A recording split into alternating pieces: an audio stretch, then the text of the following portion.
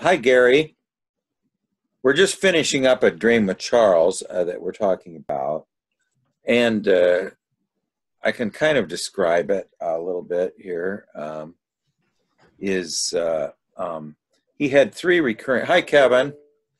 He's had three uh, recurring dreams, and uh, uh, they are all of um, that well the first one i thought was very powerful hi kevin is that he oh, uh, as is it at the um, there's children out playing outside a house at night uh, they're playing hacky sack in the parking lot he goes into uh, this house of an unknown friend goes to the back door opens up the door and it looks out upon the city the moon and the night sky. And then uh, he suddenly remembers all uh, the women that he's ever been in love with that are now, you know, uh, he, are gone. And he has an overwhelming feeling of what he, uh, the word that, that Charles used was loneliness. Uh, but um, let me give you the other uh, dreams, and then we'll go back to the word loneliness because I think I don't think lonely. I, I, want. I was trying to get from Charles if loneliness really encompasses what we're talking about. Okay. Um, then the second dream, um, he uh, sees a. Uh, he's at his aunt and uncle's house, and uh, he sees a little creature outside his hamster cage on the porch and he thinks it's his hamster, but it's a baby raccoon that is shaped like a star. Now, this is a very beautiful dream. It is an absolutely beautiful dream. Now, um, he uh, puts the little uh, star shaped raccoon in uh, the hamster cage, uh, and then um, the the uh, the mother of the of the raccoon mother comes along, and she wants her uh, kit back. So he opens up the door and uh, lets it out. It turns in, and he was going to let it fly over a star-shaped raccoon. Hi, uh, Roy. We're just finishing up with a dream of Charles here. Just going to fly this rac. Um, Star and Dawn, hi Dawn, uh, was going to fly over to the the mother, but it turns into a woman. Okay, then he has this exact same emotion that he had in his first dream of uh, where he he the first dream Dawn and uh, uh, Roy was um, that he was went into a house at night of an unknown friend, goes to the back of the house, opens the door, the door, sees the city, the moon, and the night sky, and suddenly, flooding into him, are the memories of all, um, all, all of the women that he's ever been in love with. Okay, and uh, uh, he's just overwhelmed with a feeling of what she described as loneliness but I, we, we were just trying to get if that is really the right word that we're looking for here. Okay. Um, and then there was the dream uh, where he sees he's at his aunt and uncle's house. He looks. There's three dreams. He looks uh, down at the. Um, there's a an animal on on the uh, porch. Thinks it's his hamster. Goes out. It's a baby raccoon shaped like a star. You know, so it's this um, this young and very wild, much more wild than the, the hamster, instinctive part of himself. And this might be a clue to what we're seeing in the hamster too. It is shaped like a star. And and you know, a star is our soul or our what we're to unite with. You know, this is this star is uh, is is our real being that we see. And has our name written on it. You know when we're born there's a star with our name written on it.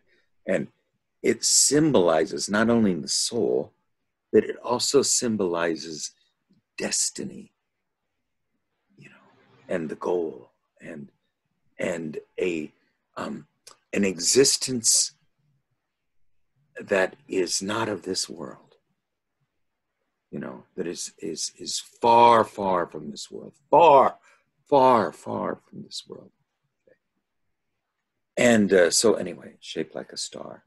And he puts it in the hamster cage and uh, is is um, kind of delighted to have a pet like this. But then the mother raccoon comes wants her baby back. So he opens the door and expected it to fly, since it's a star, over to her. But it turns into a beautiful woman and walks away. And again, he has this great feeling, uh, which I've experienced myself too, and I'm sure everybody has dawn in probably a different way. But um, this feeling of the um, the the what it is that we lack in ourselves you know um, th- this is now, now, see you know the, the polar aspect of ourselves um, is automatically attracting you know? So um, i mean that that's one of the op- uh, the aspects of the opposites that can never unite. They create energy flow.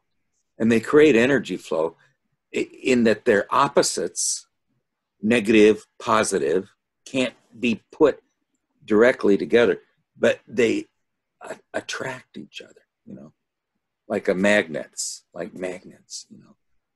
Uh, magnets used to be such a magical thing. Nobody could understand a magnet. What it was, it was just absolutely stupefying, you know. So anyway, that's the second dream. Now, both of those are kind of clues. We're trying to just get to the point is does loneliness describe what we're trying to get at here. Okay.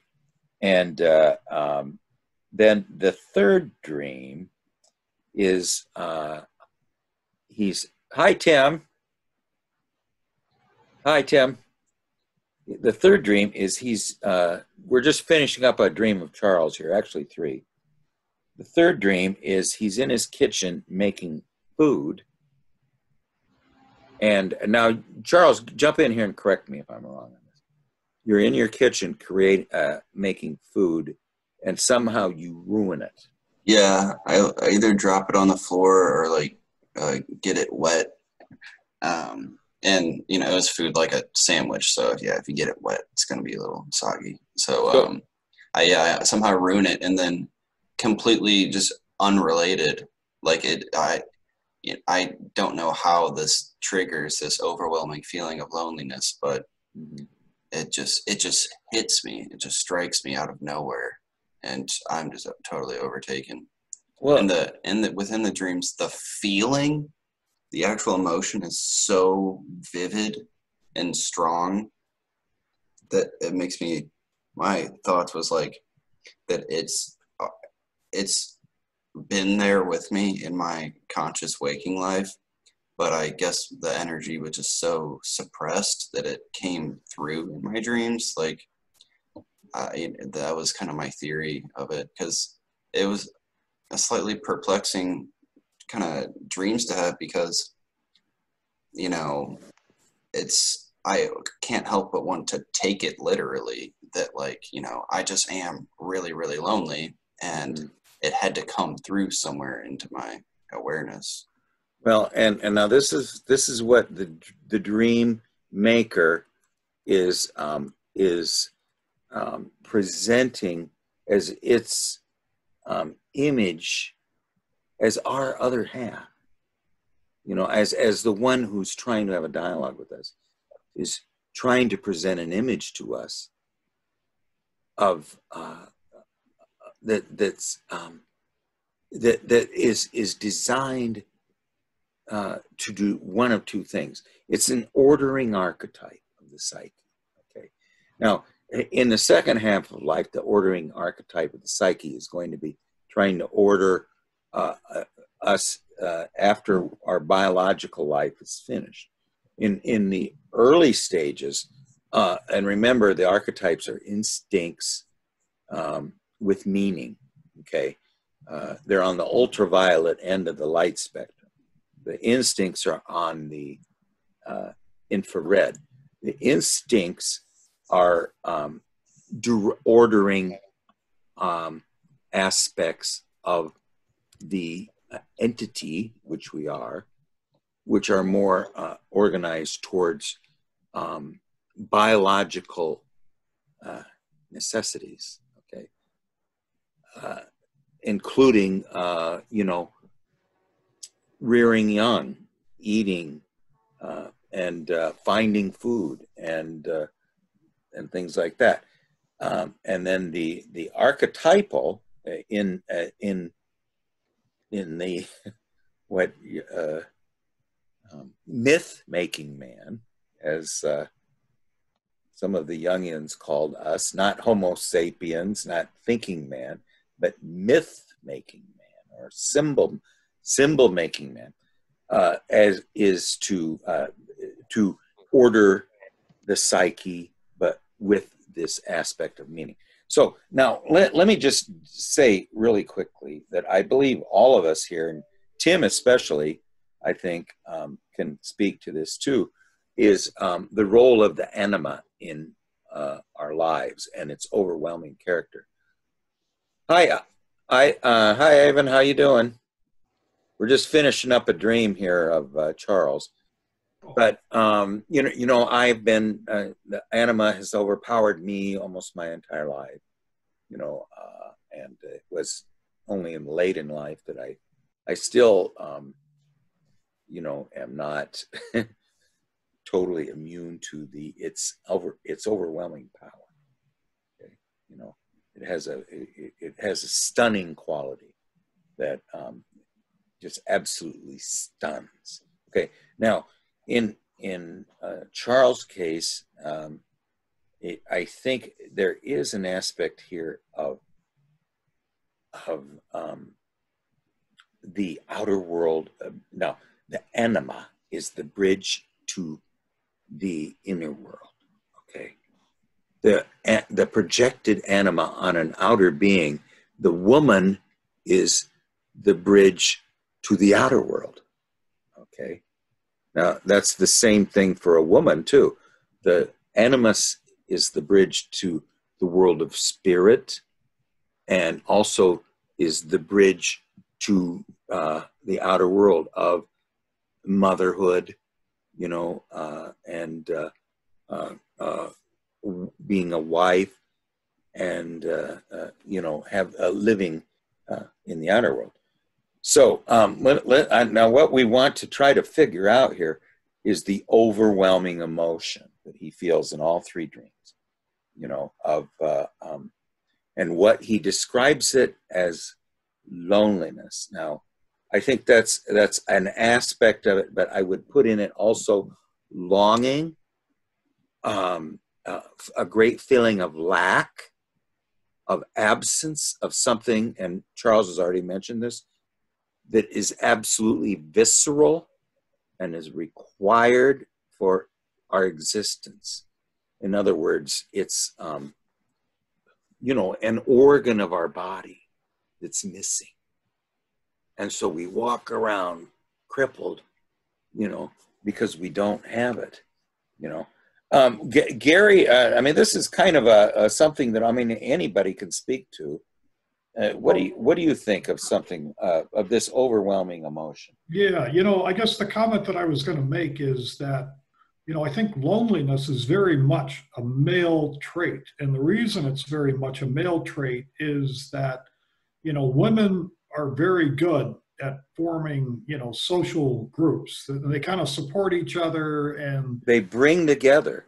They do. They bring together. And men, you know, we're very much, you know, we kind of stand, we stand on our own. And and and so all of us, you know, are really susceptible to to those feelings of loneliness. You know, I think that's, you know, I think that's actually a biological aspect. But at the same time. You know, the star shaped raccoon. You know, to me, this is like, you know, so we have like a, you know, an, an inner, an inner being, an inner core, you know, the, the anima, you know, and that, and, and it could, you know, to me, this is like, you know, it sounds like that, that need to, to bond to the inner part and the longing. And so the loneliness in this case sounds to me more like a longing for that connection. You know, you know, just uh, we'll go to Roy, but I just saying that the, the time I experienced such overwhelming loneliness was when I lived all by myself on Christmas Day and on Thanksgiving, you know, on a holiday. What do you think, Roy? Well, I remember when I was all excited last week, I was seeing the hamsters, the anima, which is a psychopomp which take him to the star. But I, I y'all might want to hear this sometime. I'll do it. When I was about 30, it wasn't a dream, but it was a vision. And uh, I misinterpreted that vision. And, you know, I was feeling all that loneliness and stuff. And uh, I went and found a, a girl, and I was in an art gallery, and I married her, and I had a 27 year pretty terrible marriage because I was trying to feel that loneliness. And what it was, it's the self. You're lonely for the self. And uh, a human being can't feel that. And if you project it on her, it's going to be a nightmare. You have to find it in yourself. So you might want to think about that before you do something rash. Well, well, that's what Philemon says. Don't look for uh, women should not look for the male in the outer world. They should look for the male within themselves. Men shouldn't look for the women in the outer world. They should look for the feminine in themselves.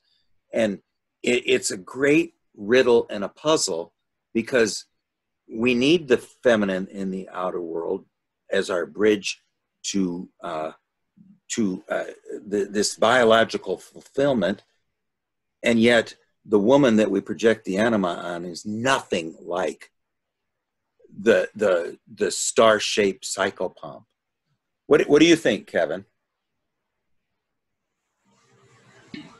Yeah, uh, I, I really think this has to do with continuation of um, his the our child's individuation process, and and this loneliness I think is a is, is such such a strong thing because I think it's the archetypal aspect of it that has been constellated. Um, so what does that mean? Um, during individuation process, you know, often um, Edward Edinger talk about this, the state of alienation. Uh, in the state of alienation in which the ego essentially become lonely, has no one. And this is quite a strong feeling. But also the state of alienation is also the, um, the context in which allows the divine to enter. Uh, because it's only when the ego can realize, you know, it cannot be held by itself.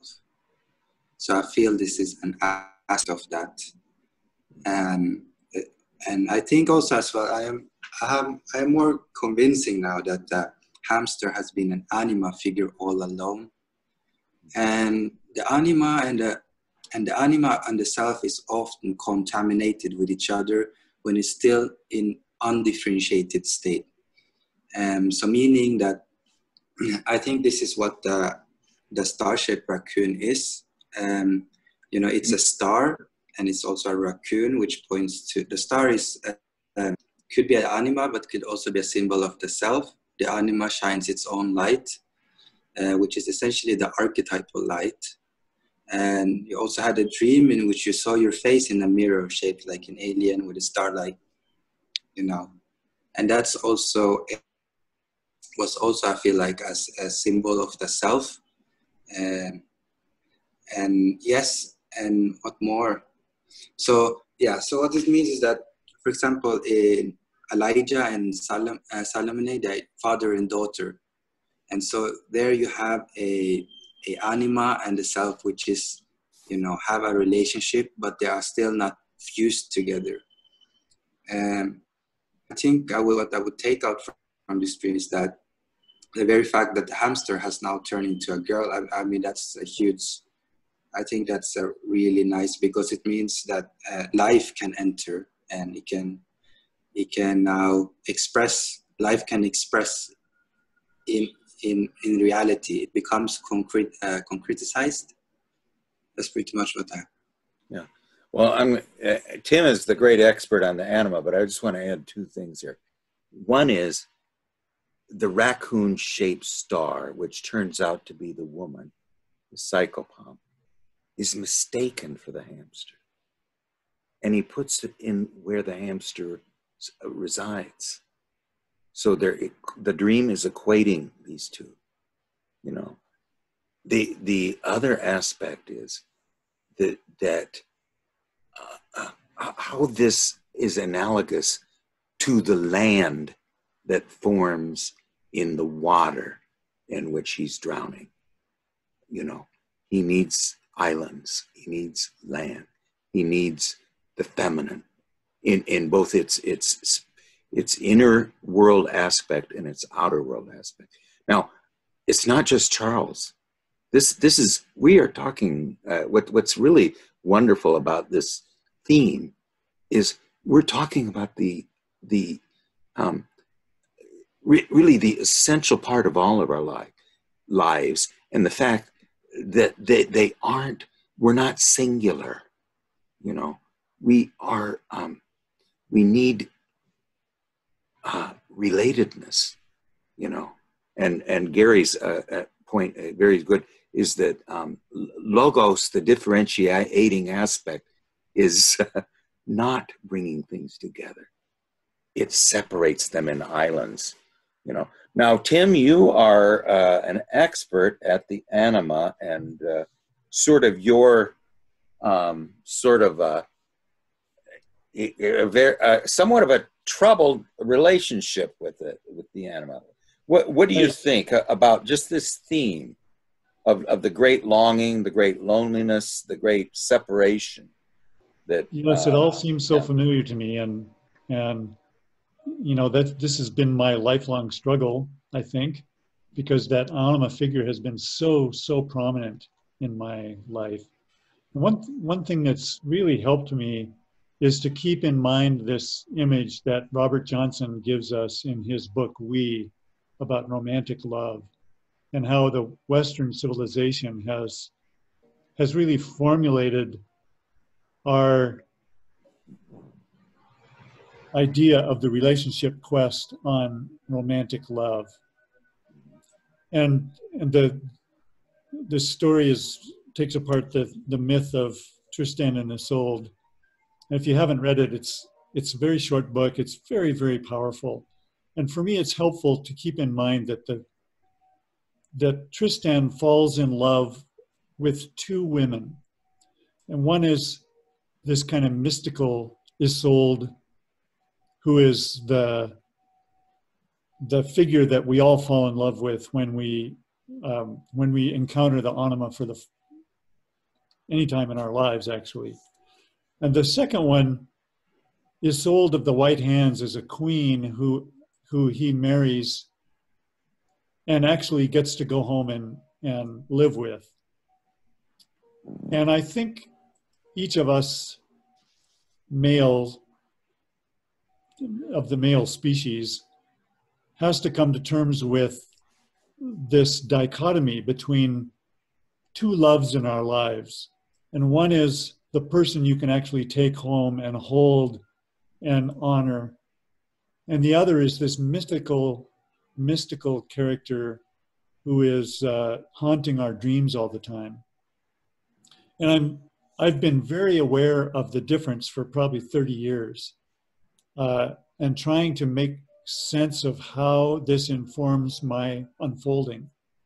So I, I think Charles is maybe farther along the path than a lot of us because if you can see the anima in a different figure beside a woman, I think you're making progress. So I'm trying to see the anima in the wilderness and in trees and in birds and in the cat that wanders around the neighborhood. I think it's helpful to be able to remove this idea that this is a real thing that you can grab onto and, and instead deal with it in terms of a spiritual quest for something feminine inside of yourself that is hidden. Yeah, the uh, the sea, the um, the forest, uh, the is is also feminine, and it's this aspect now. In in my own case, you know, I, I'm relating with three women in my inner world: uh, a soror mystica, a mystical sister, who's dark and very mysterious. Not not at all. Uh, um, and then another very simple woman who every time I see her, there's great delight and joy, both of us, at, at seeing each other and being with each other. And we just want to hold on to each other. And then, of course, the eternal feminine, which is, is the great mother. Uh, and uh, um, and then um, I am I married. Uh, we just had our seventh anniversary, but you know, I I was I've lived with her about maybe twelve years, but uh, I've been uh, uh pretty much alone all my life. Ivan, uh, do you have any uh, comments about it? No, I missed too much of the dream. Okay, that's fine. That's fine. And Dawn, you're always welcome to jump in. So just uh, and you know, act like you own the place. You know, have anything to say? Any comments at all? I mean, are always welcome because nobody knows everything. But anyway, uh, um, let let me just kind of try to to sum it up because first of all, I think that this is almost an insoluble problem. I think one aspect of, I mean, because it, the, the I mean, Tim did a very good uh, uh, thing about it. It's a lifelong quest you know, and uh, um, this and Roy's 27 year relationship with a in a bad marriage, you know, and and just the confusion that's involved in this thing, you know, is uh, is um, disorienting, and yet the overwhelming emotion cannot be denied. Just an aspect of it that is undeniable. What is it?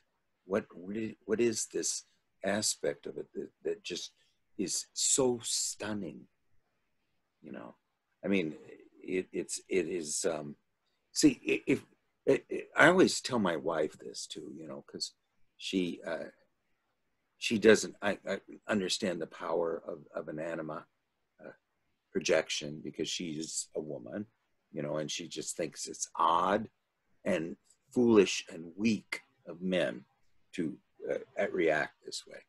And yet, yet um, she buys very nice clothes and wants to look nice. You know, wants to um, be charming and mysterious and mystical. You know, because that's part of the woman's makeup too. They're they're um, they are to cast a spell. You know, but um, imagine food that had no taste to it. Let's say there was no taste to food, no flavors, no smell, no aroma, no texture. You know, it's just there, utilitarian. You need it to live. It would it would completely change our relationship with food. Now, now take all those qualities that food has that if it lacked uh, we can imagine what life would be like. And, and apply that to the fact that uh, not, not because we asked to, but you were born um, with a certain uh, uh, orientation, you know, a masculine orientation. No one asked to be masculine. We just were born that way, you know, but it tends to to have an inertia and a trend that is quite a bit different from and and and, and not just quite a bit different it's almost unbelievably different the the interrelationships that women have between themselves is so much different than the one that they have with us. And the interrelationship that men have with men is so different than the interrelationships they have with women. Because that that when when we when we mix there's magic. When you're mixing with men, you, you know there is is uh, a feeling of comradeship and things, but not that magic aspect. So anyway, to just kind of to sum up uh, these three dreams, first of all, I think the star-shaped raccoon is a very something that's going to, and remember that we've had several uh, anima that have been daughters in the case of uh, uh Charles, and uh, then we've got the star-shaped uh, anima or raccoon, that, which is kind of a masked animal. You know, it's a masked animal that's um, that's that's light and dark, light and dark, you know, and uh, um, and it in star shape and fly, you know, uh, is very close to the forest, very close to nature, very um, somewhat elf-like, you know. It's a it's a very interesting animal. It's not a dog. It's not a cat, you know.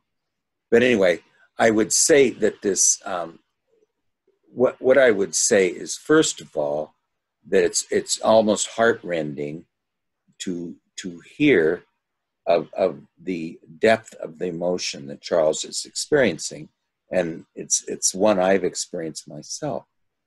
So what do we do about it? Well, I don't know what we do about it. I mean, uh, the only thing I can say is is all in all. Um, the the one thing that as a, as a um, uh, that um, I would say that um, at some point, uh, uh, well, we'll talk about that some other time. Uh, you know, just uh, is is the structure that could could help uh, bring this into being in fruition in the outer world. But that's that's for another time.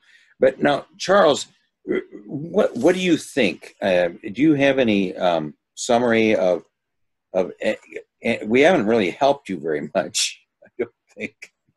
Well, um, um, quite a bit of input. Um, you know, and part of me thinks that it's you know, like not totally and strictly anima related or anything, and it's Life I don't know. It's it's kind of hard because um, um, anima is life. Let's just put it that way. Yeah. It's not only the feminine aspect. The anima is life. It's it, it there's um so much missing that I'm longing for that it's even hard to like um, measure it. It seems um, that it's um, it's uh, i guess you could say that it's like i'm missing like a part of myself i'm longing for this like a an aspect to life a, a way of going about life or um or you know or just a feeling of i think it, it's also a, just a feeling of relatedness i think is what i'm uh longing for. Um but um, it's a great. Uh, yeah, it's so it's, powerful that it, it has a. It should have an a, a aspect of it, and I'm not saying it does, but it. I would think the fact that it is so powerful that it also is energy evoking. Mm-hmm. You know, as far as taking actions. I mean, it's it's hard to uh, uh, believe uh, that um, as powerful as this is, that we could just sit passively by, you know. And so, what do we do? You know, but go, right, but go ahead. Right. Yeah. Oh, um, uh, no, I believe I had finished my thought, but um, yeah, it, it is.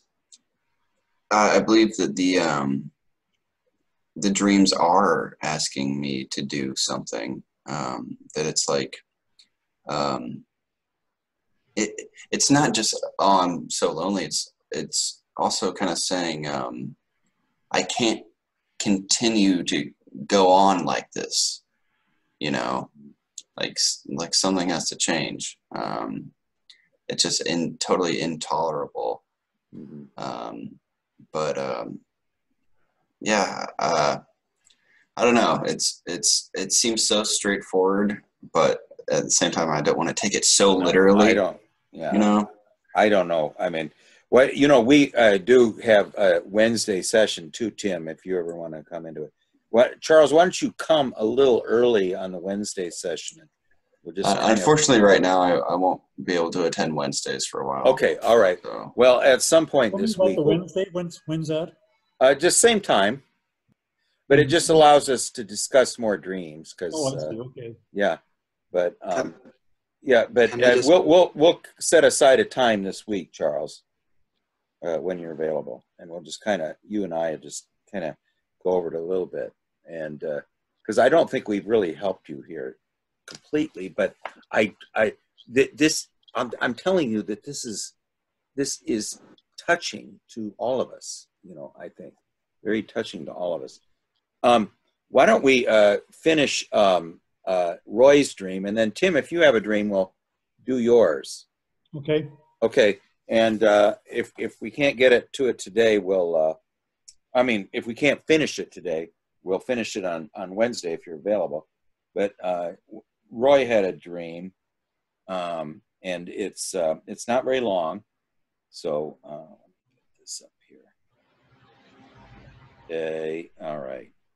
Okay, so um, uh, it's called the Great River, and this was a dream of his youth. Okay, um, he's following a small brook through a beautiful meadow.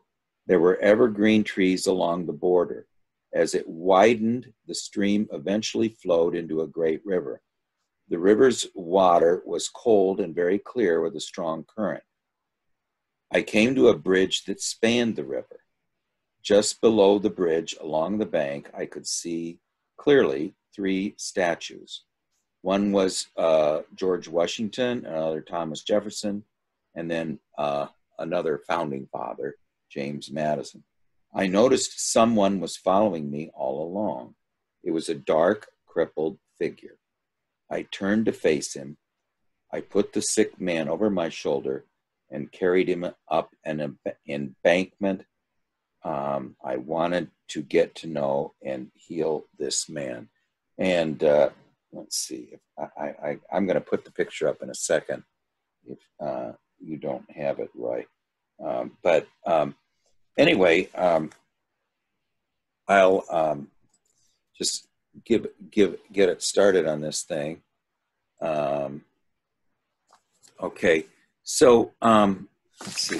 I've got it right here. All right. Let's see. Okay, so now we're following a small brook through a beautiful meadow. Okay, so um, we're following the flowing and moving. I'm not convinced whether that he's following his own stream of life, his own future stream of life, or he's following uh, the flowing unconscious. It's going through a beautiful meadow. Okay, a meadow, uh, I would guess, of plants and flowers. Is that right, Roy? Uh, uh, evergreens. Okay, well, evergreens were along the border, but uh, the meadow is not the evergreens. It's an open area, isn't it? It was in the Alpine It's an alpine uh, uh, meadow. where it Okay. started. Yeah. Yes, it's an alpine meadow. So, do you think it's a mountainous uh, stream? Tim knows about those alpines in Montana. Yes, yes. Well, an alpine meadow to me is uh, one that's in the mountains. Yes. Yes. Okay. So it's near the mountains, the great mountains. Okay. So it's it's near the eternal feminine. The mountains represent uh, the eternal feminine, and a meadow of, of the vale of tears of the great mother is is the meadow and the stream that runs through it. And he's he, we're following it along. You know, the dream ego is following this this uh, um, flowing aspect uh, through the this this valley in uh, near the Great Mother, and uh, the um, the evergreens would represent um, uh, the rooted aspect of of the uh, feminine. You know, the it's it's it's a rooted. Um, the trees are always so, go down so far, you know, and, and yet they represent um, always a, a feminine aspect. You know, a, a, an earth-bound creature is very rooted to the earth. You know, because they're earth-bound. You know, uh, so um, the, the so next to this fleeing, uh, flowing um, stream of life is the rooted unconscious, and it's near the the um, the, the far off uh, representative of the eternal feminine. You know, the mountains that that have been here for eons. You know, represent her. You know, now um, as as it widens, it flows into the great So it, it seems to be that there are two unconsciouses here. One one is our own personal uh, stream of life, and then there's the stream of all life, you know, which it flows into.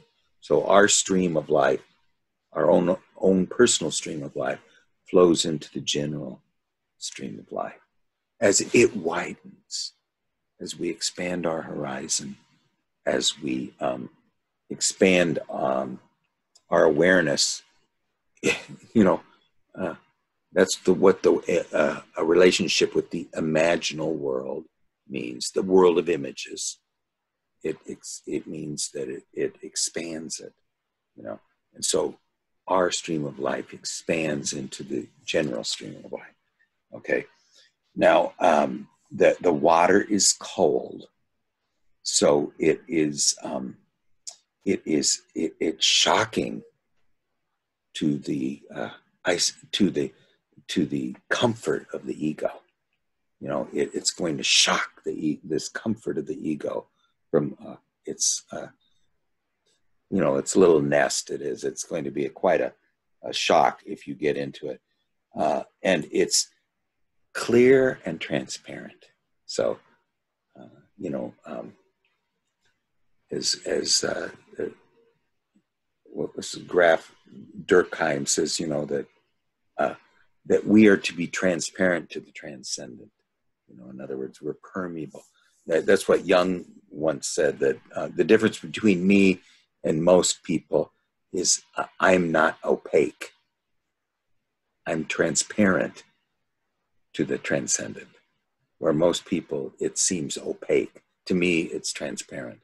You know, so um, it, in other words, he sees something there he sees the inner aspects of the stream you know.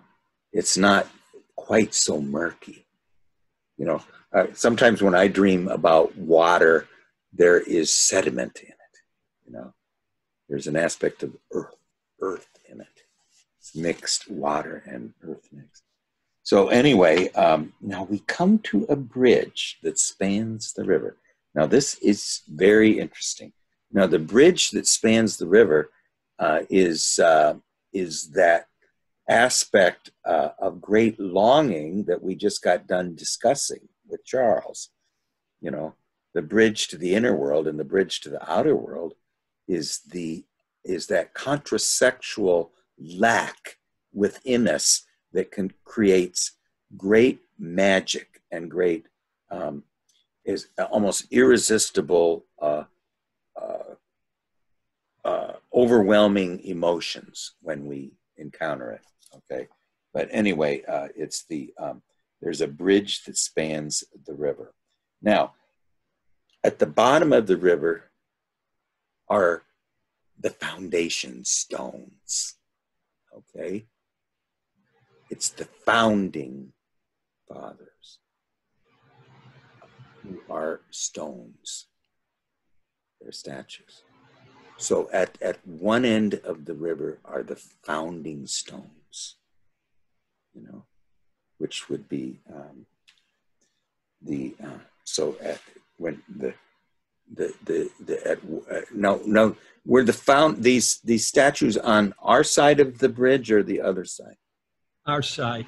Our side. Okay, so the founding stones are, uh, are in life the founding stones are in life, that lead to the other side, you know, that span the river, spans the unconscious to the other side.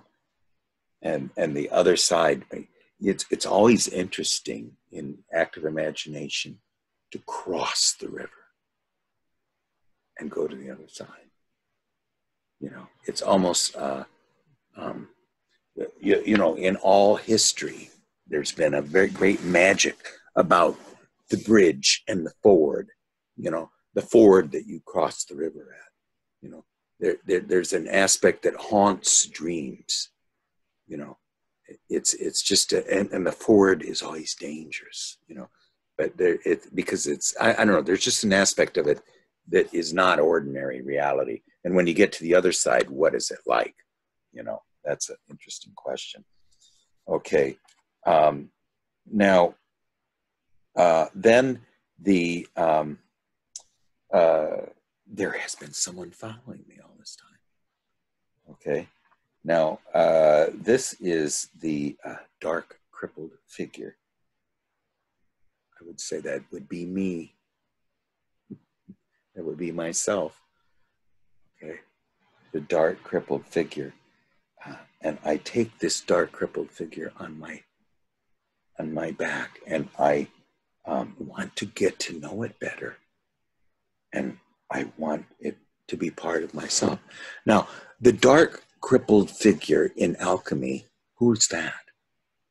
That is the um, that is the the soul who laments and cries out and says, Do not reject me because I'm dark and covered with, with um, dirt. It is your lack of attention that has left me this way. Okay? That's what she says, or that's that's what the unconscious says to us. We it, it is uncomely because we uh, don't value it you know it's this stone the builders rejected because what we value and this this was coming out very well in that um, dialogue in the black books that Jung had where where everything he values it, it, we're men and events and what he needs to value is this um, the the place where the soul resides you know not uh, men and events. So anyway this is in alchemy this this would be a very well-known figure, you know, this dark, crippled figure. And um, this is when when Roy was young, and he wants to get to know and heal the wounded part of myself. So um, you, um, my writing, I can't read my writing here. Let me see here. I got it on this thing. Oh, darn it. Come on, baby. There we go. Okay.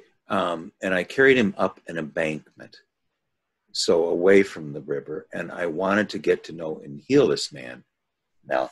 And then I knew I could go back anytime to the statues and the bridge and cross this river. You know, so I know I can go back to these foundation stones at any time. But right now there's a more there's a more pressing task and that is to heal this crippled figure. Now, uh, Roy, can you talk about uh, your left arm, or what is it? Uh, what what was the the uh, dream you had about the left arm? That was oh yeah yes uh, yeah I uh, playing football about twenty kids piled on top of me and snapped my left arm when I was about twelve, and I had this dream that I told everybody here on, on Monday nights that uh, I went through this uh, cyclone fence, like a woven fence, and met my shadow, who uh, gave me. My left arm was on him, but it was healed, and he gave it to me. Yeah. So now this is, this is, um, isn't this, this the same scene? I mean, I'd say this is the same scene. You, th- there's one aspect that wants to heal this crippled dark aspect, you know, okay, And in the other dream, this inner uh, aspect of ourselves, the, sh- of the shadow, presents us.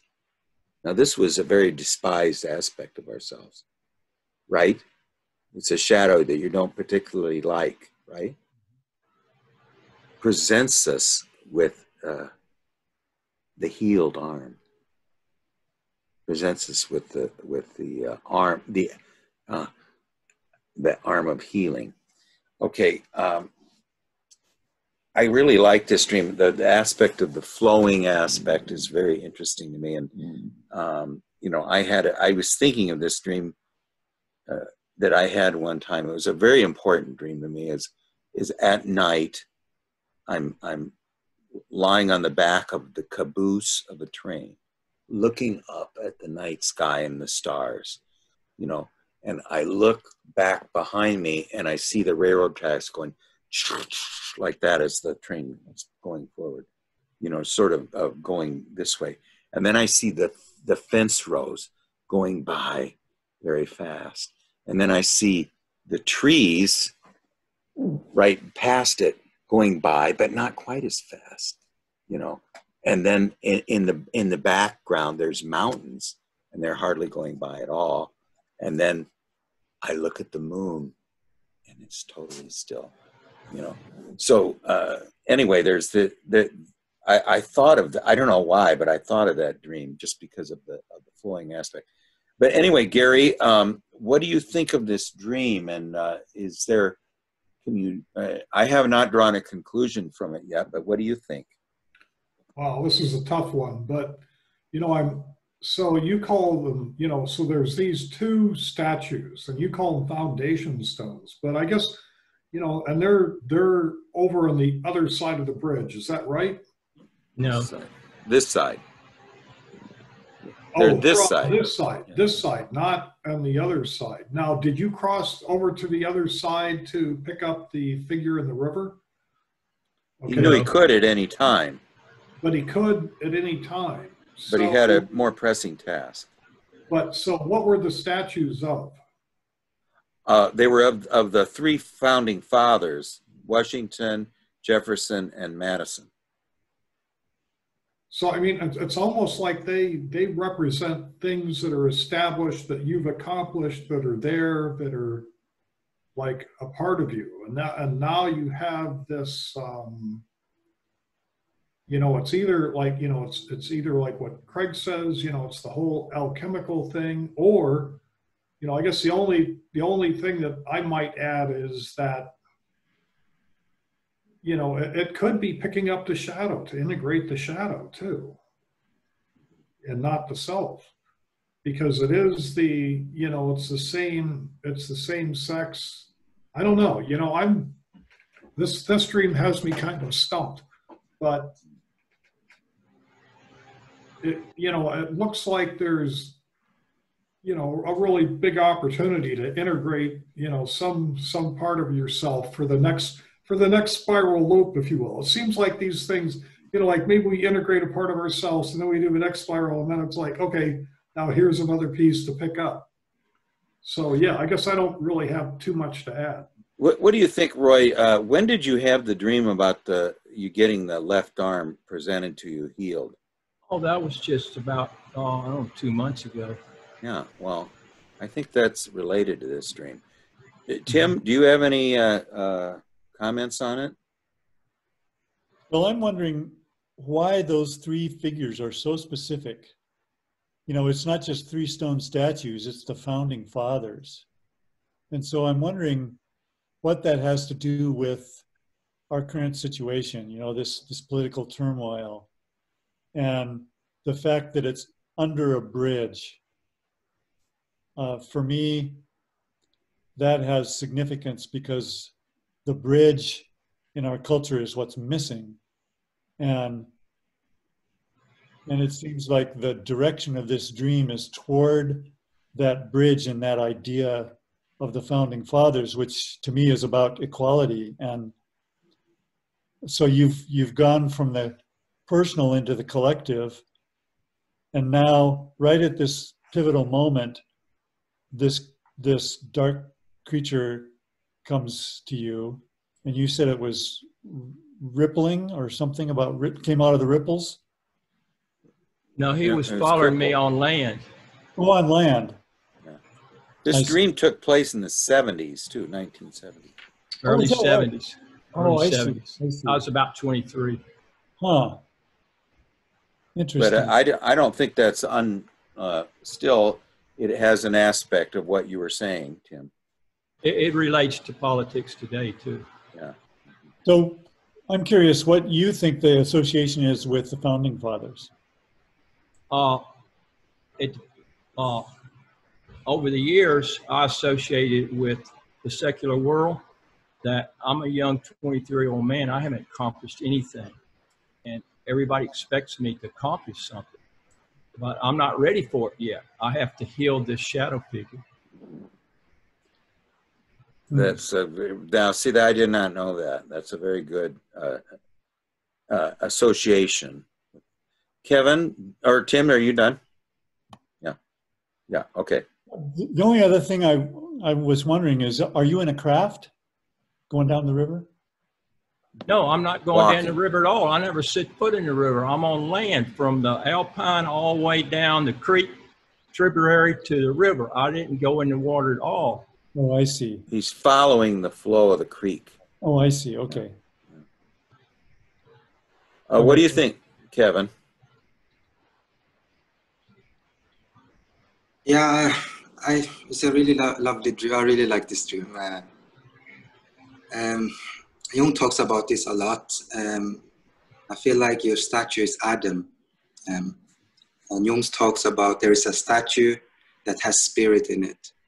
So he's talking about this yin and yang in one and the same thing. So Adam as well, in even in in Islamic tradition, is 30 meters long. So you have number three there. And you also dreamt this about when you were 23.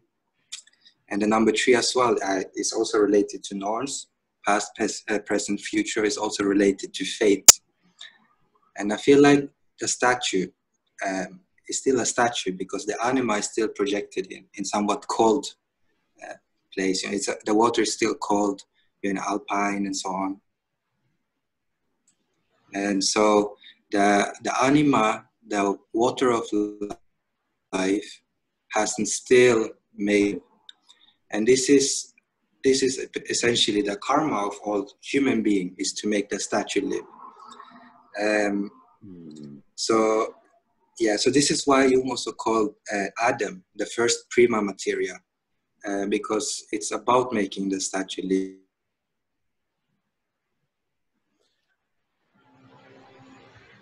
Yeah. I mean, Kevin, you might turn your because video. condition you know you it's it's because you still have to into the feminine um i also feel that this um dream also Kevin, could you turn your uh, uh, video off just while you're talking? I don't know if you can. Uh, one, one thing I would say, uh, is about you have the number three which is also the three head dreams when people are developed sorry yeah, k- yeah. Oh, there you go. yeah That's better. Yeah, I was also thinking that um, this also that's- relates to your, to your shadow, um, the, the number three. Um, and so to, to found a country often also requires, uh, hello? Yeah, You can hear Yeah, you. requires, um, in a sense, essentially war. So essentially when people are developing ego consciousness, they often have war dreams. Uh, because they are developing the opposites. You need the opposition to develop an ego consciousness. And so I would say that's pretty much it is that the anima is still somewhat projected into the environment. The shadow is, you know, will be following you through your life, you know, and you will be carrying it. And the task is essentially to animate the statue to make it a living yin and yang, to, to make it a living stone. And then you can have life. Yeah, well, that's uh, I like the idea of that the which I didn't think about is that this the reason the stream is cold is because it's glacier melt. You know, it's it's comes from the mountains, the water. You know, there's an aspect of this is mountain water. What do you think about that, Roy? Is that Well, I liked back a couple of weeks ago when Kevin said my dreams are about healing, but he didn't really get into that. I mean, to me, this seems like a healing dream. uh, And, it is? and Jung animated the statues, and he didn't have life. He had to go write the red book to find it. Yeah, it was. It, it has an aspect of of of the. Um, I think I, I liked your aspect of that you um, that these foundation stones that you could always come back to would be for you to uh, to uh, go, become a productive mem- member of society. But before you could become a productive member of society, you needed to heal the crippled part of yourself. There was a part of you yourself that was crippled. Now this this is this is a lot like you, Charles, too. I think it, there's an aspect of that. There's a there's a crippled aspect of us that needs to be healed before we can participate in the outer world. What do you think, Ivan? Um, so I, I was most interested in the the statues specifically, why it was those uh, those founding fathers, right? You said I think Jefferson, Washington, and Madison. Do you have any special relationship uh, to those uh, historical figures, or any thoughts on them specifically? Uh, yeah, I, I am from Virginia originally, uh, where a lot of the founding fathers were. Well, three of them are from from Virginia. Yeah, yeah, and so the founding fathers are are incredible inspiration to me, and I feel like I have a great understanding of it. And uh, So yeah, That's they're the fathers of your native land. yes, yes, yes. I see. Okay. Uh, to me, I mean, I might be making it too basic, but uh, it seems to me the dream about the the importance of the present. But the past will always be the past. There's always lessons to be learned from it that you can go back to. But um, that's what what's happening in the current moment is what needs to be focused on. I, I feel well- like I reduced that too much. Now. I think I, uh, you know uh, they've we've brought out a lot of points I did not think about at all, Roy. So so I'm going to have to keep uh, working on this one. Uh, how about you, Charles? What do you think? Now we got. We we pulled out a lot of stuff about this that we didn't know before. What do you think? Um, I am over here just kind of trying to process the idea of a wounded shadow. I just think that, um, you know, I've never even thought of the shadow being able to be wounded. Um, I guess maybe that's because the nature of my shadow. Um, and um, you know, I'm I'm really just trying to process that and think about it and try to like understand it. Um, of the you know the wounded shadow. Um, I, I, I don't think we abs- actually have to conclude that this is the shadow. I think it's a wounded aspect of Okay. ourself, um, and and it uh, it it's the fact that it is a a, a, a man. Uh, what what does it say, uh, Roy, about the bottom exactly? But I mean, it could also yeah, I, I got a picture on the. Yes. Yeah. It could also be, um, let's see, I, uh, I turned to face him, a dark, crippled figure. Okay. So um, it, it does not seem to be a trickster figure or some aspect of us that is what we reject. It the this reject it, what it, what we do, and this is what Jung says we're supposed to do is we're supposed to feel compassion for that aspect of ourselves.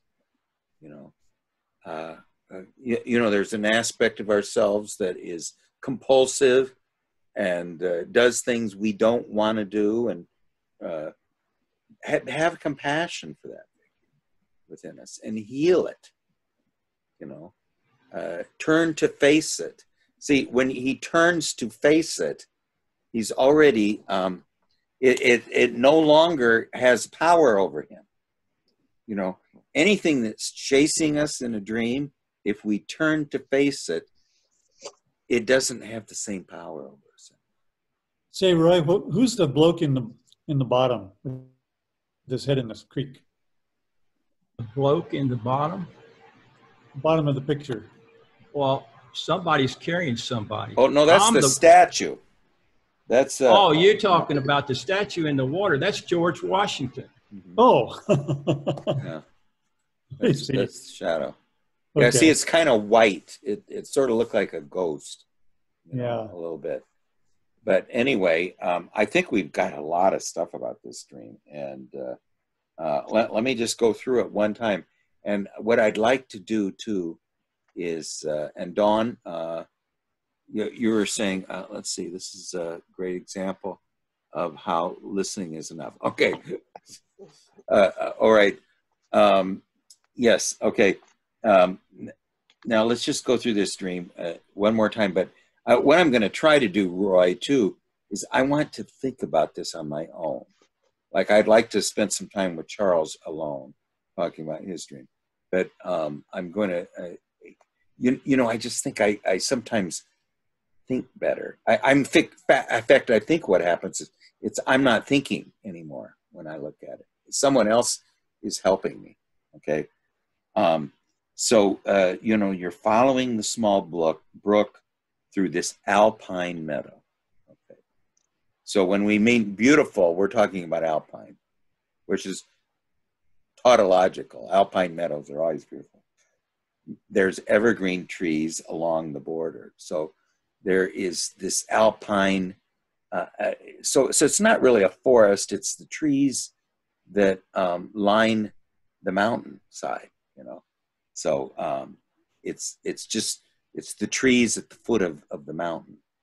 You know, the alpine meadow, and and so and and of course the stream that comes in through the alpine meadow is glacial melt, and that's why it's so transparent and so clear because it's it's in a rocky landscape.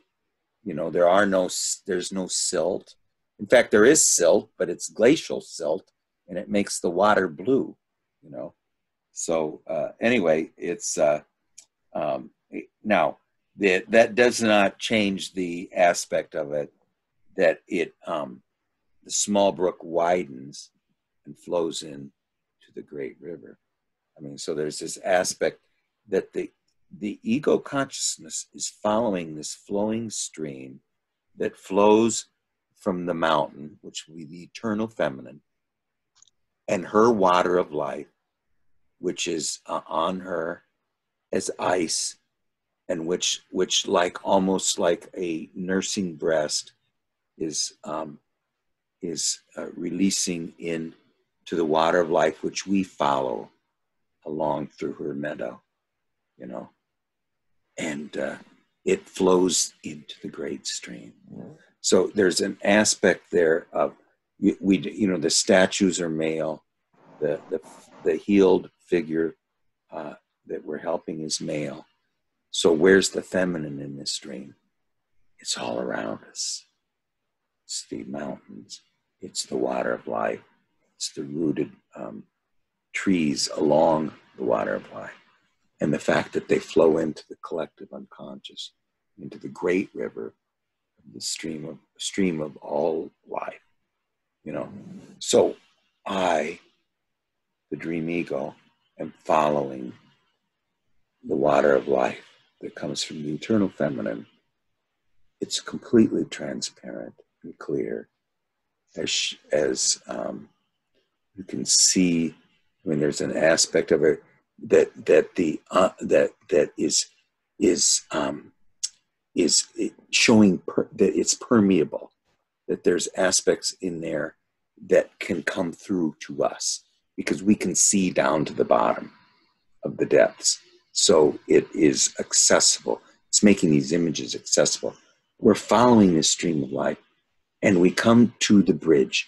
Now, I, the, one aspect of this I'm thinking of now is this is the bridge that takes us away from this paradise a little bit you know it takes us away from it and and at the foot of this bridge are the figures of the collective attitude.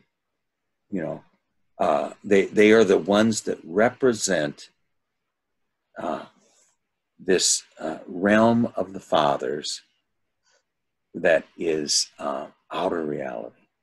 There's the bridge, Roy. Go across it. And at the foot of this bridge are three symbols of the uh, of participating in that realm. You know, and they're the symbols of this bridge. So this is the bridge to uh, conventional life. Okay. All right.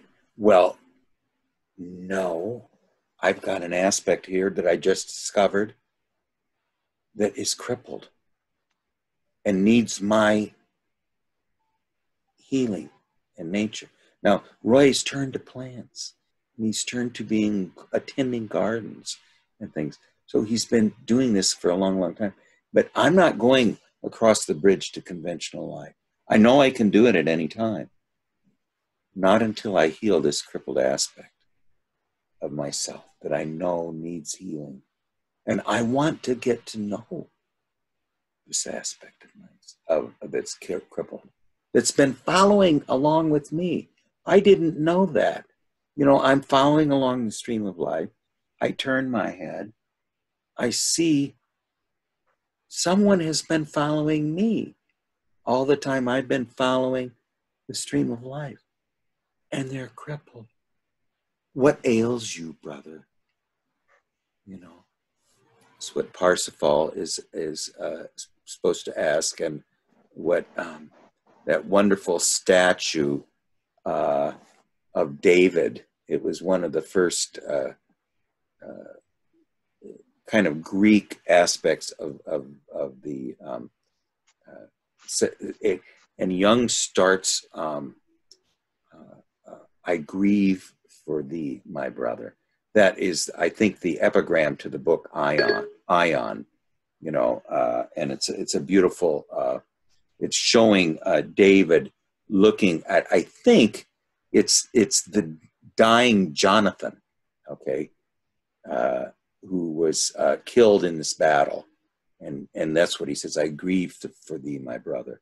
You know, so um, that's what Roy is saying. I cannot cross the bridge to conventional reality uh, because my heart is here with this um, being that needs healing within me. So until I can heal this being within me, I can't cross that bridge. Because I can't leave this this this brother that's been following me all this time, unbeknownst to me. While I'm walking along, he's, you know, following me, dark and crippled. That means there's an aspect of him that is uh, is not only uh, crippled, but is rejected by uh, the light of consciousness, or you know, is far from the light of consciousness.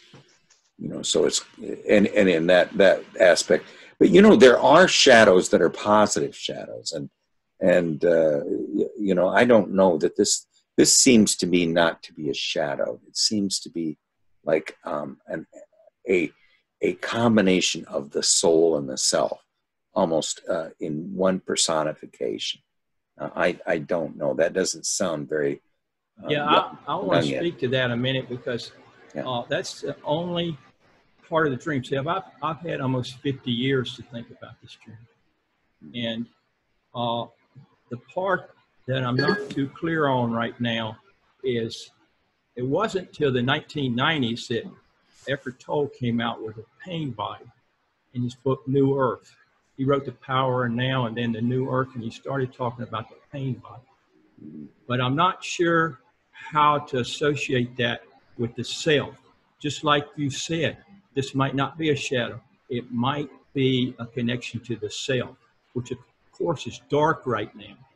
But if I don't connect with it, my ego won't be able to make that connection, you know, where it says, okay, I need this to live. Yeah. And uh, so Yeah, I'm just thinking that it is uh, is is a um, the because the shadow that that we called the shadow later that that gives us the um, uh, the uh, healed arm. It doesn't seem like a shadow. It seems to have the same character as this figure. This one that was not that that was following us uh, along the stream of life, unbeknownst. Yes, so it, all- it, it was a very, I mean, shadows usually have a lot of energy and are powerful. But this guy that had my arm was the same way. He was weak and rejected. yes. So it's weak and rejected. So it's not at all threatening, and No, neither was this other. No. Neither was this other uh, aspect of us threatening at all. And that's Um, what makes it strange because shadows Yes. aren't like that. No, that the shadows tend to be uh, uh, obscuring of of, of our uh, efforts. Uh, well, I'm going to try to find that, um, but um, it's a statue. Uh, it's a it is a um, uh, statue by Donatello. Is uh, it's one? It's a very very early classical uh, statue. I just wanted to see if I can show you real quick. But, um, with David holding up the head of Goliath. Um, I'm not sure. Let me let me look real quick here. You might be right. Let me see. It's Donatello. Very effeminate David. Ye- yeah, he's wearing a almost looks like Mercury cap on him. Uh-huh. Say, uh, but I just want to see if I can get that because it's. A, here we go. Uh, let's see. Let's see. There we go. Let's see if I can share the screen. Uh, there we go. I'm not The very good. second, second shadow's name was David. Sort of bizarre. Yes. Yeah, well, there you go. That's uh, th- this is a very famous statue because it was uh, um, it was one of the first nudes, I think, uh, that were was done um, very early. You know, so it was sort of shocking to uh, something. I don't know. There's an aspect of it that was uh, sort of uh, very shocking to the art world. I'm not exactly sh- sure what the story was, but anyway, uh, you grieve for. I grieve for thee, my brother. There's an aspect here of that you, uh, because of the your grieving for this crippled aspect of yourself, you're not going to go cross the bridge to the conventional world, and I think that's what the three statues represent. You know, um, they a very a very high but a very straight and far. It, it, it's it's really symbols of the conscious attitude, not not the unconscious, and that's why they're so specific, and that's why they're very related to to not to the unconscious, but to uh, uh, you you know um, just just the reality of, and but they're also related to Virginia too, which was your native land. Well, now, Tim, do you have a dream? Uh, we can see how far we can get with it. Well, I do, but um, I wanted to bring up a kind of a perceptual question Yeah. first. Um, and it might be helpful to talk about this before I share this. But one thing I've noticed about my dreams that I haven't heard other people talk about is this really rich, sensual quality of the aesthetic presentation. It's like my dreamer is a really great, has a really great art department. And oftentimes I'll have these very visually rich dreams that I can't make any sense of because I'm used to working at them with, in terms of characters and, you know, symbols like, like what we usually talk about. So, for instance, this about a month ago, I had a dream about this really richly decorated house that was down the street. So beautiful. So And- beautiful. And I couldn't even draw a picture of it because it's so, its richness was of a sort that I couldn't really get my head around. So I couldn't, so had a real hard time drawing it. And so this, I don't know if other people have dreams like that, but I've I've certainly not been aware of it. Um, I remember a dream I had maybe 10, 20 years ago where the perspective was all squashed um, uh, horizontally. So everything is tall and skinny.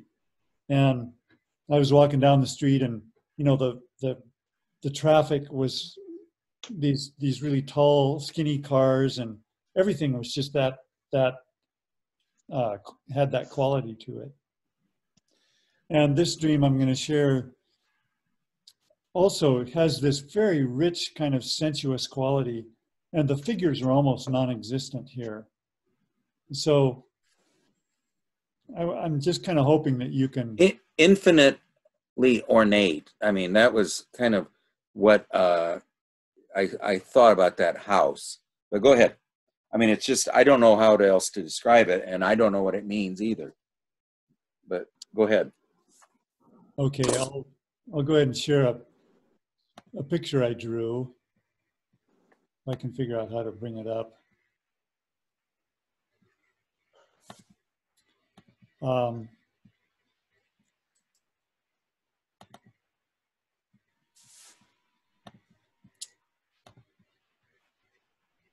okay, tell me if you can see this.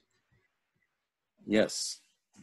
Okay, this is called the Cave House, and uh, I've I've been invited to a an open house of this couple who have built this house the modern house kind of carved out of a cave.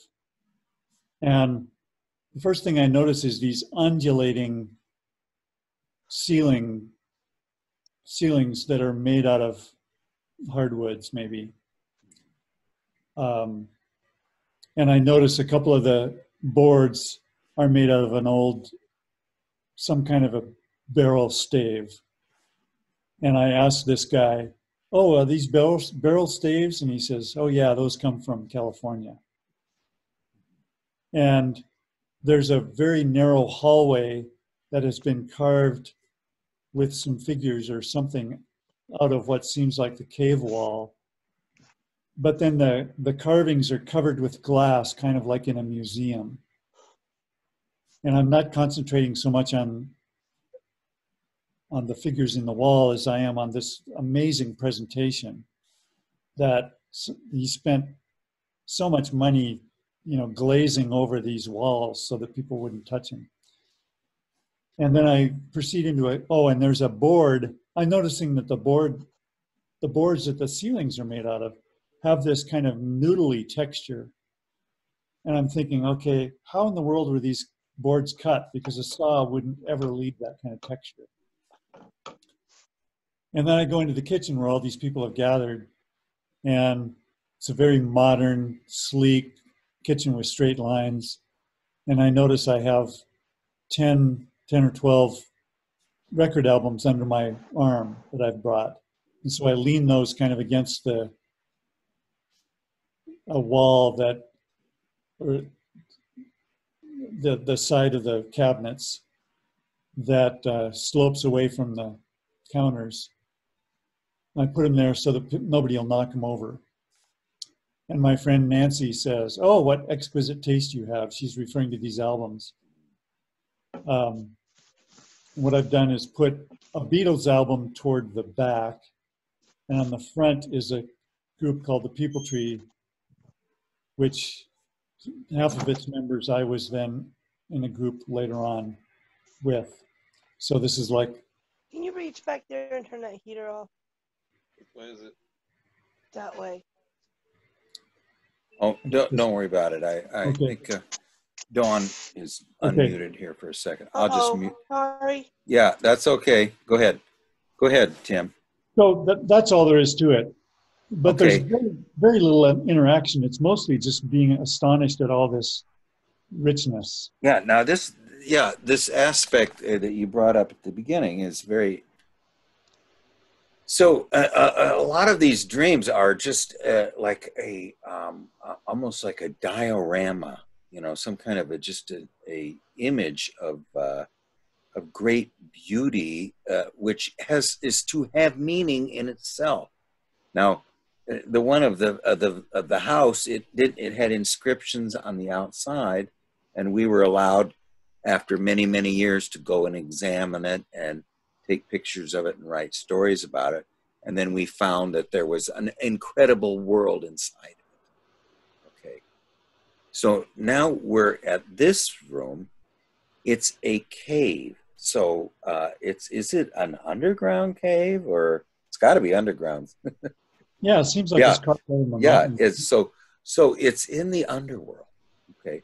Now there are, are people who live in the underworld and uh, they have um, uh, they have if, if you uh, you, know when when Jung discovers his soul is a desert you know he's he's asked uh, why don't you make it habitable okay well whoever went down into this um, cave in the underworld has added a ton of ego attention to it. Okay. Now, if I go down into the underworld and I add a ton of ego attention to anything, you know, uh, uh, and I wanted to talk with Gary about this later. Uh, you, you know, um, the active uh, imaginations that we might uh, I- just want to say real quickly, Gary. Uh, I like Gary had an idea that we would just talk about active imaginations after the Black Book studies uh, to compare them with Jung and and sort of you know just uh, get tips from each other. But uh, what what I'm saying is, the more we do it, the more subtle it gets. But applying it to uh, Tim's dream here is the more attention that someone applies to the underworld it starts to take on um, amazing qualities, uh, which we can't believe. I mean, uh, you, you know, t- Tim can't believe that he went to all this trouble with with the with the walls, with the carvings, with the glazings, with the with the undulating uh, uh, ceiling of all different types of very interesting wood, you know, including barrel staves. You know, I mean, uh, that's interesting. You know, they're almost like um, the wood from a ship. You know, it's formed to shape a barrel. You know, and uh, uh, and then the um, now, uh, can you describe uh, this um, kind of a rectangle in the bottom of the picture? That's this noodling wood. What could you talk about that a little bit? The boards that have this, Oh yes, it's a it's a board. Yeah, I see. It's a Yeah. board. Yeah. Okay, and it has a noodling texture. Um, is that um, caused by uh, parasites, or did he do it by himself? it seems like an intentional thing. And I, I was, you know, fascinated with this because I can't figure out how you would get that texture. Yeah, I mean, you often, if you get wormwood, I mean, you'll see all the worms made little things in there, and uh, it's if you cut it, uh, uh, you know, at a right, a, a good angle, you'll see all these little uh, undulating things. But he knew he he he made little uh, figures on the wood. So this person, whoever it is, who, who do you know who it was? I have no idea. Okay, this unknown being in uh, in the underworld. Now, how did we get the invitation to go there? My, my feeling is I've been invited to this open house for this couple that I know. Yes. And so this, this guy apparently built this place and, you know, is just showing it off. Yeah. Well, I mean, anyway, we let let's just say that we're, it is something to show off. Okay, regardless of uh, it does, doesn't seem like you, know when you build something this marvelous, uh, it isn't really what it's not really bragging to show it, you know, because it's amazing. It's an absolute uh, wonder, you know. So I mean, uh, what they're trying to do is share with us their wonder you know uh, it is it isn't really feeding their ego It's it's it's sharing in this sense of absolute wonderment. Like, would we think that Mozart was uh, showing off when we watched the Magic Flute? You know, I mean, one of the most beautiful things in the history of the universe. No, we're there to share his wonder and see. Often these people, including yourself, Tim, are are not the creators of this anyway. You're the conduit of it.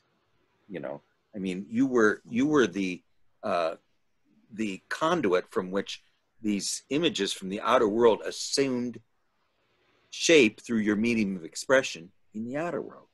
But the the uh, the me you, you were the medium of expression, but the image didn't really come from the ego because the ego's not capable of some of these Exactly. just absolute stunning things.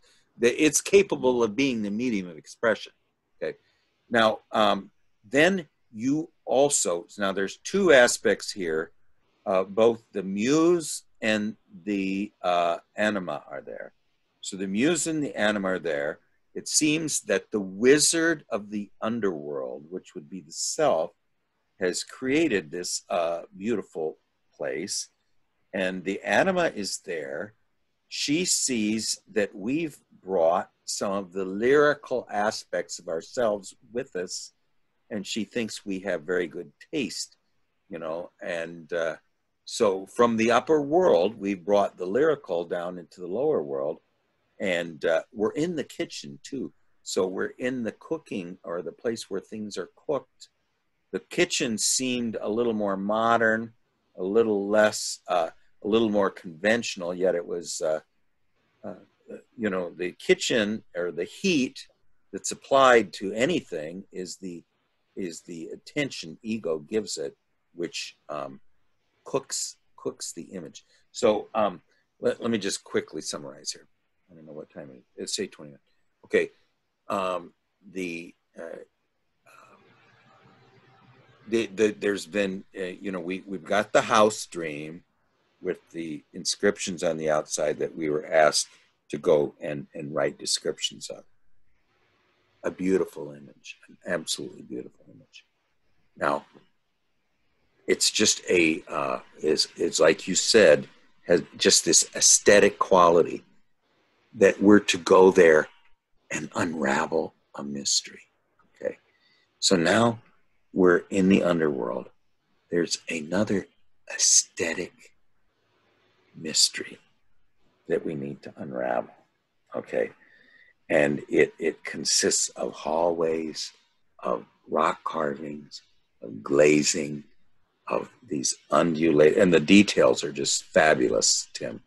The undulating uh, ceilings uh, covered with wood, the uh, intricate patterns on the boards.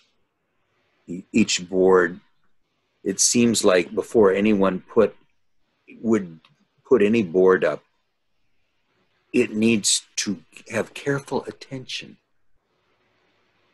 of the of, of the unconscious. The unconscious gave it a wonderful magical quality before it would use any board. So it's not just any board, every board that you look at, every single thing. Now, this kind of reminds me of, I think it was uh, Ian's dream, where everything is so fabulously wonderful that uh, it's just absolutely stunning. So uh, we're, we're, we're seeing here the wonders of the inner world this is the inner world that exists in you or in all of us. And it is absolutely, infinitely uh, clever and uh, amazing. Okay. We're not infinitely clever and amazing, but it is infinitely clever and amazing. And it's the, a, a sculpture that I made um, maybe 25 years ago that was designed in a dream. Um, this is something I woke up. Let's see, I need to figure out where it is here. I woke up with this this memory of having seen this image, and I immediately um,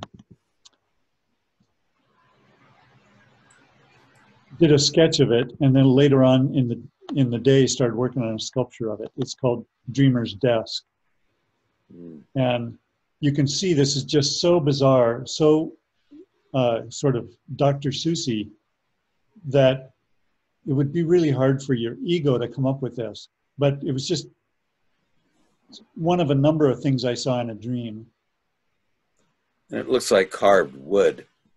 Um, could everybody just make a, some quick comments? And we're going to finish this on Wednesday or next Monday, Tim, whichever uh, day you can come.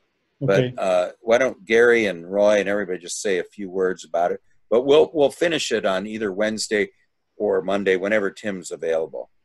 But um, I guess the, you know one of the things that strikes me is so you've got all these like glass cases with the wonders within them, but you know with this being your inner world, ideally, you know you'd have the wonders, but not the cases that kind of prevent you from you know the the touch and the interaction with it. So it's it's maybe it's like a here are things that will become available with time or something, but but not accessible right now.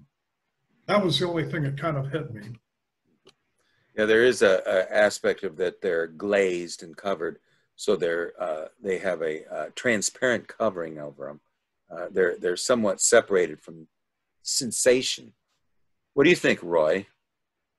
Yeah, it it goes along with that theme with aesthetics, like Tim likes to talk about, and it's that's what an artist has, and it means a lot to Tim, and he's able to really uh, focus on it and get a lot out of it and understand it.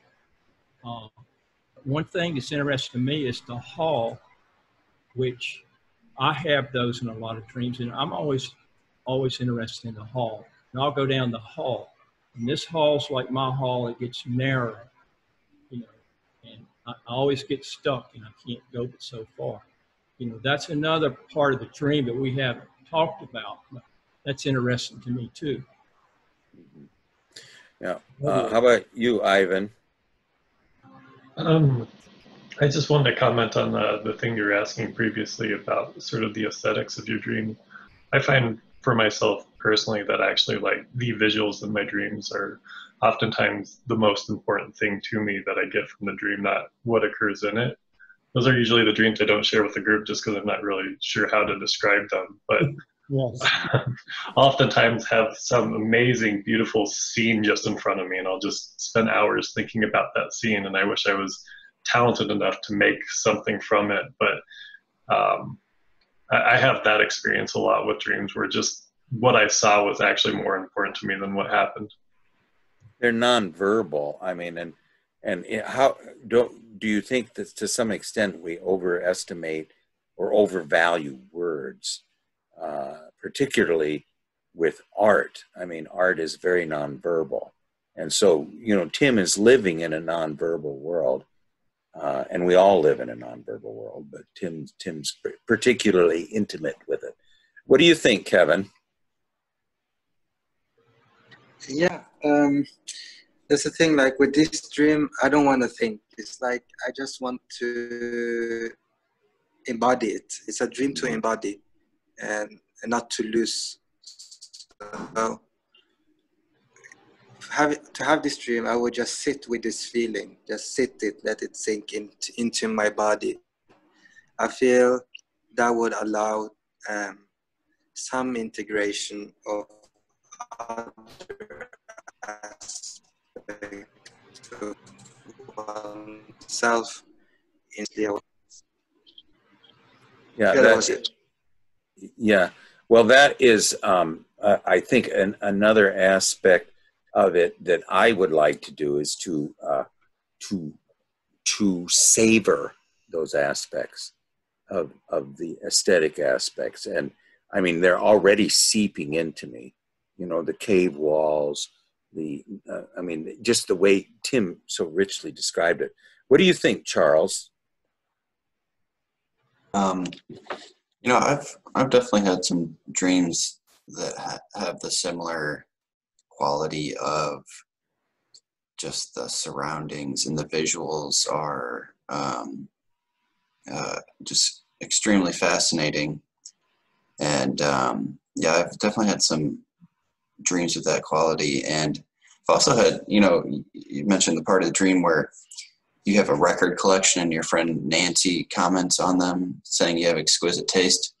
Yeah, I've, I've had a few dreams where I have some sort of figure um, that, you know, ag- agrees with my taste in music or something like that. And uh, it's like, oh, we like the same bands. That's really cool. Um, and um, I've always been kind of curious about that um, because um, I kind of over the years um, kind of realized, you know, I, I consider myself a musician, but um, you know, it, I came to really fully understand that, you know, it's it's like, yeah, I like music, but there's actually really something inside of me that that uh, there's something inside of me that actually provides my love for music. Like I I can enjoy it to a degree, but it that that inner thing is what really um you know it, that's responsible for love of mu- music um and uh, I've, yeah i've been curious uh on what it means when um i have some sort of inner figure uh compliment me on my taste or this and that or we we agree on a certain artist or something i always thought that was uh, interesting Yeah, yeah, yeah. The, the lyrical uh, and the visual. I mean, what in, in the arts, we've got the lyrical and we've got the visual, and then we've got the the uh, let's say the lyrical without um, uh, that's instrumental. You know, not uh, no no lyrics, just the lyrical. The visual arts, and then you have the lyrical poetry too.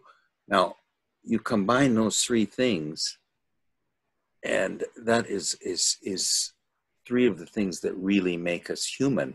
And you know, like Leo Tolstoy said, it's it's um, it's actually an organ of, of the human organism, and uh, so so we're kind of uh, uh, looking at as as uh, Charles was seeing, um, uh, and, and, Charles and Roy and Tim were all talking about um, the heart of life, you know, the great longing, the river of life, and the grieving for the brother. And then this, this both lyrical and visual aspect, which is in the depths, you know, uh, which is has a great mysterious quality to it. Well, why don't we try to finish this stream uh, next Wednesday? And by the way, Tim, I don't know if we ever finished your house stream, but I, I think even if you weren't here, we had a lot of fun with it. That was one of a dream that really is a fairy tale, and it really is. I mean, it's a. I don't know if I've ever heard such a um, uh, surprising when you open the door, you know. you come into another world then you open this door and there's there's a, a courtyard full of water and then you, you you know i mean it's got some wonderful vistas in it. Well anyway um now we gary has given us a go ahead tim why don't you get, conclude? What well thanks. I i thought you know this is all really rich comments and i'll try to come back on wednesday if i can. Okay wednesday or monday you know or next time you come we'll we'll finish it. But we'll start with Gary's dream. Gary had a dream, and then Ivan, you're you're up, and of course Dawn, you're always up, and uh, um, uh, and then Kevin, you're uh, you would be I think next. So we're gonna start with Gary, and then Ivan, you come up with something, and then uh, then we'll go to Kevin and Charles. Uh, we can set up something. Well, to finish your first three dreams, which I don't think we've done a very good job, but I kind of like to talk to you one on one about it a little bit, and uh, and you can bring another dream too if you want. So Uh, anyway, we'll uh, reconvene on Wednesday for anybody who wants. And thank you, uh, Charles and Roy and Kev. I mean, and Tim as well. Uh, and if you could, Tim, maybe just send uh, me the image and I'll uh, I'll I'll forward it to people. Okay. I'll Just do so I would like to look at it a little closer. So Sure. anyway, we'll we'll see all you see you all soon. All right, thanks. Okay, thanks Yeah. you guys. Bye. Bye.